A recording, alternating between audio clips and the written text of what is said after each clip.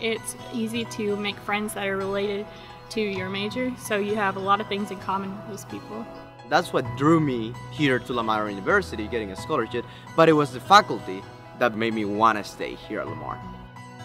My years here, I've come across some very great professors that actually knew my name. I'm able to talk to teachers who are actually living out real life experiences and who are doing something in my field or in my community. Him giving me contacts in the real world has helped me as well. And definitely I'm thankful for all the opportunities that I've gotten. Um, for example, I got to go and study abroad, which was an awesome, amazing experience. And I'm also really thankful just for the atmosphere that Lamar provides because I've met my best friends here and they're going to be lifelong friends. Everything about Lamar University has really helped me and grown me as a person.